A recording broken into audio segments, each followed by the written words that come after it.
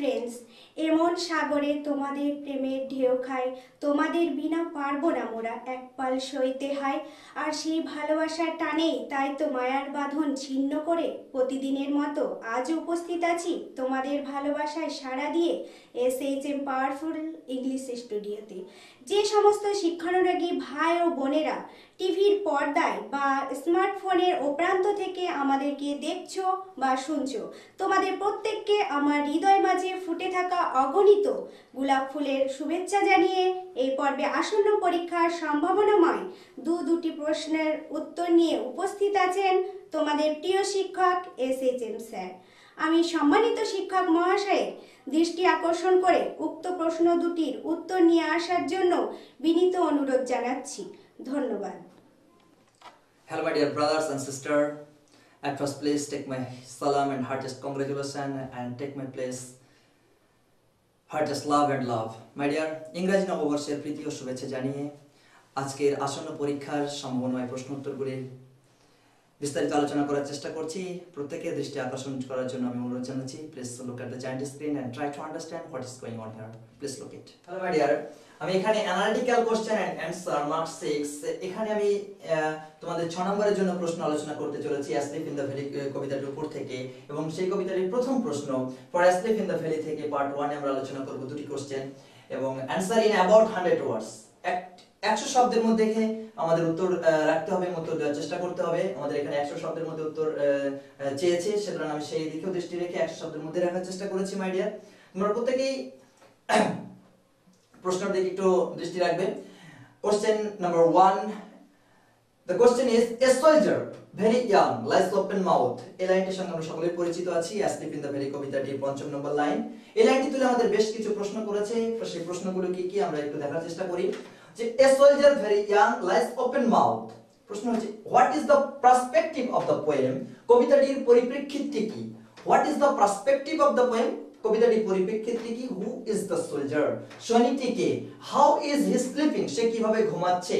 How is the place where he sleeps যেখানে সে ঘুমাচ্ছে সেই জায়গাটি কেমন? এই হচ্ছে আমাদের প্রশ্ন। আমরা এবার খুব ধৈর্যশীলতার সঙ্গে ধীর স্থিরতার সঙ্গে প্রশ্নগুলির উত্তর দেওয়ার চেষ্টা করি বা উত্তর জানার চেষ্টা করি my dear please follow it the poet Arthur Rimbaud the poet Arthur Rimbaud was the soldier himself কবি আর্থার ইম্বদ নিজে একজন সৈনিক ছিলেন।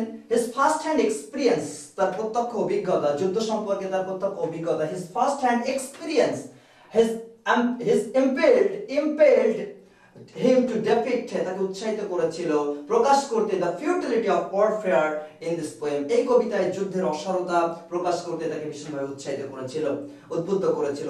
The soldier his a victim of war R next question ছিল হু ইজ দ্য সোলজার সৈনিকটি কে সেই প্রশ্নের উত্তরে আসছি my dear the soldier is a victim of war victim means শিকার অফ ওর যুদ্ধের শিকার সৈনিকটি যুদ্ধের শিকার and lies dead in a beautiful valley এবং সৈনিকটি একটা সুন্দর উপত্যকায় মৃত অবস্থায় পড়ে রয়েছে যুদ্ধের শিকার হয়ে সৈনিকটি একটা সুন্দর উপত্যকায় পড়ে রয়েছে আর next question how is he sleeping সে কীভাবে ঘুমাচ্ছে হাউ ইজ হি স্লিপিং সে কীভাবে ঘুমাচ্ছে মাই ডিয়ার এই প্রশ্নের উত্তরে আসছে দ্য সোলজার ইজ স্লিপিং সৈনিকটি ঘুমাচ্ছে পিসফুলি অত্যন্ত আনন্দপূর্ণ ভাবে মনোরম পরিবেশে পিসফুলি আনন্দদায়ক ভাবে ইন এ সানলিট ভ্যালি একটা সূর্য আলোকিত উপত্যকায়।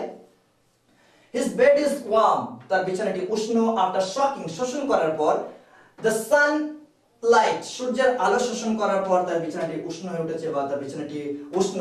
দ্যাট যেটি প্রোটেক্টস রক্ষা করছে protects the soldier from the cold যেটি সৈনিকটিকে ঠান্ডা লাগার, হাত থেকে ঠান্ডা লাগার হাত থেকে তাকে বাঁচাচ্ছে বা রক্ষা করছে। হি ইজ স্লিপিং সে ঘুমাচ্ছে with a pillow of fern under his head ফান্ডের তৈরি একটা বালিশ মাথায় রেখে সে ঘুমাচ্ছে। পিলোমিনিক্স বালিশ P I L L O W pillow পিলোমিনিক্স বালিশ আমরা প্রত্যেকে জানি। অফ ফান্ড আন্ডার হিজ হেড তার মাথার নিচে একটা ফান্ড গাছের বালিশে সে মাথা রেখে ঘুমাচ্ছে। His feet are among the flowers his feet তার পদযুগল দুটি, তার পা দুটি আর অ্যামং দ্য ফ্লোরস ফুলের মধ্যে that grow in the valley যেগুলি উপত্যকায় বড় হয়ে উঠেছে, উপত্যকায় বেড়ে উঠেছে। He lies open mouth my dear he lies open mouth সে শুয়ে রয়েছে, মুখ খোলা অবস্থায় with an innocent child like smile with an innocent একটা সম্পূর্ণ নির্দোষ, একটা শিশু সুলভ চাইল্ড লাইক স্মাইল একটা শিশু সুলভ একটা মাসুম বাচ্চার হাসি নিয়ে মুখ খোলা অবস্থায় সে শুয়ে রয়েছে অন হিজ ফেস তার মুখে একগাল শিশু সুলভ হাসি নিয়ে সে মুখ খোলা অবস্থায় শুয়ে রয়েছে অ্যান্ড ওয়ান হ্যান্ড এবং একটি হাত and one hand on his breast তার বুকের উপরে রেখে সে মুখ খোলা অবস্থায় একটা শিশু সুলভ হাসি নিয়ে এক গাল হাসি নিয়ে সে মুখ খোলা অবস্থায় একটি হাত বুকের উপরে রেখে শুয়ে রয়েছে Our next question, our last question uh, how is the place? জায়গাটি কেমন? Where he sleeps? যেখানে সৈনিকটি ঘুমাচ্ছে আসলে সেই জায়গাটি কেমন এই প্রশ্নের উত্তরে আমরা আসছি my dear the valley where the soldier sleeps the valley উপত্যকাটি where যেখানে দ্য সোলজার স্লিপস ঘুমাচ্ছে ইজ অ্যাট্রাকটিভ অত্যন্ত আকর্ষণীয় attractive because of its greenery যেখানে সৈনিকটি ঘুমাচ্ছে, সেই উপত্যকাটি সবুজ গাছপালার জন্য অত্যন্ত আকর্ষণীয়। দ্য প্লেস জায়গাটি the place surrounded by mountains পাহাড়ে ঘেরা জায়গাটি ইজ ওয়ার্ম বেশ উষ্ণ, বেশ গরম অ্যাজ কারণ ইট রিসিভস রিসিভ মানে পেয়ে থাকা বা পাওয়া। ইট রিসিভ এটা পায় অ্যাবান্ডেন্ট প্রচুর পরিমাণে সানরেজ সূর্যের রশ্মি, সূর্যের আলো। অ্যাবান্ডেন্ট প্রচুর পরিমাণে সূর্যের আলো পেয়ে থাকার কারণে জায়গাটি বেশ উষ্ণ, বেশ গরম হয়ে উঠেছে। Insect my dear please look it insect পতঙ্গ insect hum around the place full of flowers পতঙ্গেরা তারা গুনগুন করে উপত্যকার চারিদিকে ঘুরে বেড়ায় আহ, উপত্যকার ফুলে ভর্তি উপত্যকায় পতঙ্গেরা গুনগুন করে উড়ে বেড়ায় প্লেস ফুল অফ ফ্লাওয়ার্স ফুলে ভর্তি উপত্যকায় পতঙ্গেরা গুনগুন করে উড়ে বেড়ায় মাই ডিয়ার ফ্রেন্ডস এই হচ্ছে আমাদের মেন পয়েন্ট তোমরা যারা আমার কণ্ঠে কণ্ঠে মিলিয়ে ইংরেজিটাকে খুব সুন্দরভাবে বুঝতে পারলে তাদেরকে মেনি মেনি কংগ্রাচুলেশন এবং যে সমস্ত ভাই বোনেরা ইংরেজিটাকে বোঝার জন্য বাংলা অনুবাদের প্রয়োজন আছে, তাদের জন্য আমি এখানে একটা বাংলা অনুবাদ রাখার চেষ্টা করেছি, হুবহু। সেই সমস্ত ভাই বোনদের স্বার্থে আমি বাংলা অনুবাদটাও তাদের সঙ্গে শেয়ার করতে চাই। তোমার স্টুডেন্ট আমি বাংলা অনুবাদটাও দেখাতে চাইছি তোমাদের সঙ্গে। এই, এর পিছনে যে অংশটি আমরা পড়লাম, তারই হুবহু বাংলা অনুবাদ এখানে রয়েছে, আমরা একটু চোখ মেলে দেখি। কবি আর্থার ইম্বাদ নিজে সৈনিক ছিলেন। যুদ্ধ সম্বন্ধে তার প্রত্যক্ষ অভিজ্ঞতা তাকে এই কবিতায় যুদ্ধের অসরতার কথা প্রকাশে উদ্বুদ্ধ করেছে। সৈনিকটি যুদ্ধের শিকার এবং একটি সুন্দর উপত্যকায় মৃত অবস্থায় পড়ে রয়েছে।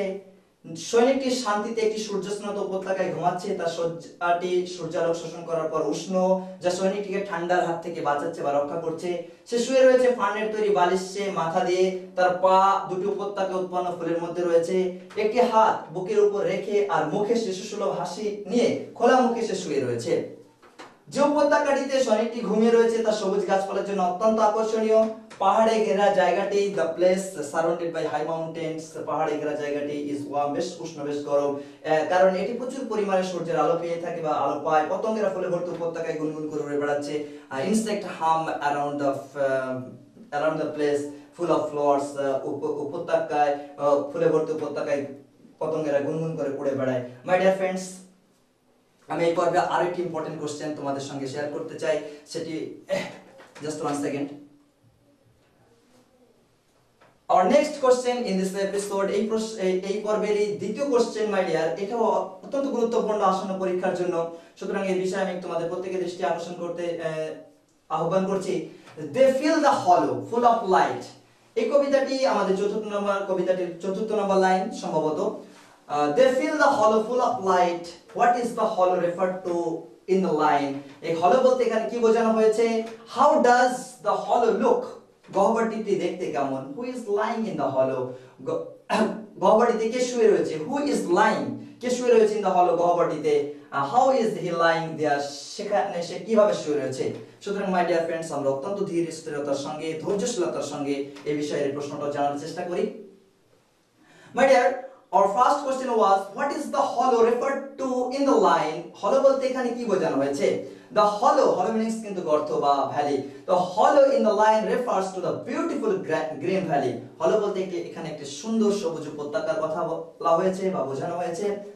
The valley is small the valley উপত্যকাটি is small উপত্যকাটি ছোট ইয়েট অথচ গ্রিন সবুজ উপত্যকাটি ছোট অথচ সবুজ it is surrounded by high mountains এটি সুউচ্চ পর্বত দিয়ে ঘেরা is surrounded by high mountains stream stream meaning ছোট নদী আমরা প্রত্যেকে জানি। প্লাস বয়ে চলেছে সফটলি অত্যন্ত মনোরম ভাবে অত্যন্ত ধীর গতিতে, ধীর স্থিরতার সঙ্গে মৃদুলায় বয়ে চলেছে থ্রু ইট এটির মধ্যে দিয়ে উপত্যকার মধ্য দিয়ে। As the sunshine, as the sunshine from the top of the mountain top, পাহাড় চূড়া থেকে সূর্যের আলো জ্বলজ্বল করছে rays fill the valley, সূর্যের রশ্মি সম্পূর্ণ উপত্যকাটিকে ভরিয়ে তুলেছে with their brightness, তাদের উজ্জ্বল তাদের উপত্যকাটি তারা আলোকিত করে তুলেছে। The flowers and insect, পতঙ্গ এবং ফুল increase the beauty of valley ফুল এবং পতঙ্গেরা উপত্যকার সৌন্দর্যকে বাড়িয়ে তুলেছে। ইনক্রিজ মিনিংস বৃদ্ধি করা বা বাড়িয়ে তোলা। ইনসেক্ট মিনিংস পতঙ্গ ফ্লাওয়ার্স ফুল এবং পতঙ্গেরা ইনক্রিজ বাড়িয়ে চলেছে দ্য বিউটি সৌন্দর্য অফ ভ্যালি উপত্যকার।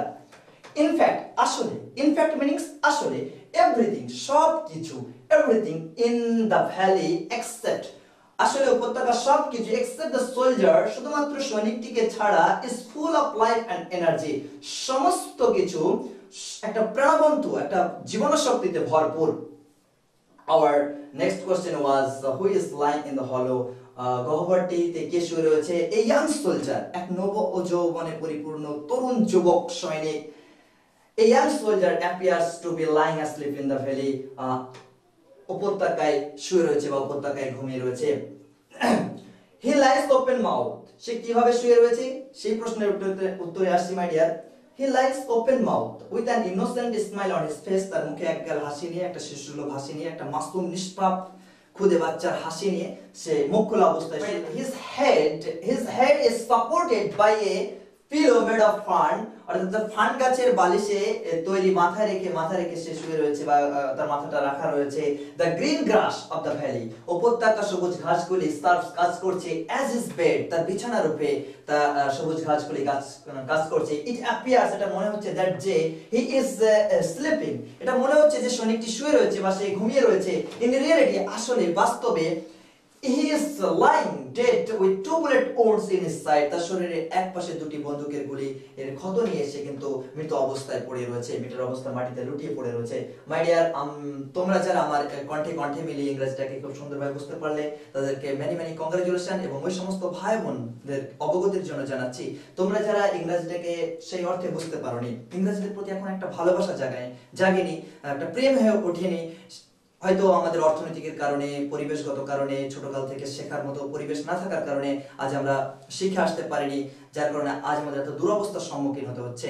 সুতরাং হতাশ না হয়ে, নিরাশ না হয়ে আমি তোমাদের জন্য একটি বঙ্গনুবাদ রাখার চেষ্টা করেছি, সেটা তোমাদের সুবিধার্থে এবং তোমাদের সঙ্গে শেয়ার করতে চাই মাইডিয়া আমি দেখতেই পাচ্ছ, এর আগে যেগুলো আমরা ইংরেজিতে পড়লাম, তারই বঙ্গনুবাদ হুবহু এখানে রাখা রয়েছে, একটু আমরা চোখ মেলে দেখে নিই। বঙ্কুক্তটি হল বলতে একটি সুন্দর সবুজ উপত্যকার কথা বলা হয়েছে। উপত্যকাটি ছোট, অথচ সবুজ। The valley is small and yet green এটি সুউচ্চ পর্বত দিয়ে ঘেরা। একটি ছোট্ট জলধারা ধীর গতিতে, জলধারা ধীর গতিতে উপত্যকার মধ্য দিয়ে প্রভাবিত হয়েছে। যেহেতু সূর্য পাহাড় চূড়া থেকে তার আলো বিকীর্ণ করে আলো ছড়াচ্ছে, সূর্য রশ্মি উপত্যকাটিকে উজ্জ্বলতায় ভরিয়ে দেয়। সূর্য রশ্মি তার উজ্জ্বল আলোয় উপত্যকাটিকে রাঙিয়ে তুলেছে, উপত্যকাটিকে আলোকময় করে তুলেছে এবং ফুল ও পতঙ্গ উপত্যকাটির সৌন্দর্য বাড়িয়ে তুলেছে। The flowers and insect increase the beauty of nature the beauty of the valley আসলে সৈনিকটিকে বাদ দিয়ে উপত্যকা, সবকিছু জীবন একটা প্রাণ শক্তিতে ভরপুর। একজন যুবক সৈনিক যেন উপত্যকাটিতে ঘুমন্ত অবস্থায় শুয়ে রয়েছে, সে নিষ্পাপ এক হাসি নিয়ে মুখ খুলে শুয়ে রয়েছে, তার মাথাটি ফার্নের তৈরি বালিশে ঠেস দেওয়া his head is supported by a pillow made of fern উপত্যকা সবুজ ঘাস তার বিছানা হিসেবে কাজ করছে the the grass the green grass of the valley serve as his bed মনে হচ্ছে যেন সে ঘুমাচ্ছে, বাস্তবে তার পাশে দুটি গুলির ক্ষত সহ সৈনিকটি মৃত অবস্থায় পড়ে রয়েছে। এই হচ্ছে আমাদের এই পর্বের বিষয় ছিল। সুতরাং প্রত্যেকের, আবারও প্রত্যেকের দীর্ঘায়ু সুস্বাস্থ্য সার্বঙ্গীন কল্যাণ কামনা করে আজকের মতো এখানে বিদায় নিচ্ছি। বিদায়কালে একটি কথা বলতে চাই। তোমরা যারা স্বপ্ন দেখছ, অনেক বড় হওয়ার স্বপ্নকে বাস্তবে রূপ দেওয়ার জন্য প্রচুর পরিমাণে মেহনত করতে হবে এবং নিজেদেরকে ধৈর্যশীলতার পরিচয় দিয়ে আগে বাড়তে হবে। সেই শুভ প্রত্যাশায় আজকের মতো এখানে বিদায় নিচ্ছি। আমি S H M S H M powerful English স্টুডিওতে আবার দেখা হচ্ছে পরবর্তী অনুষ্ঠানে, পরবর্তী পর্বে। So my dear students thank you very so much have a nice day বাবাই টাটা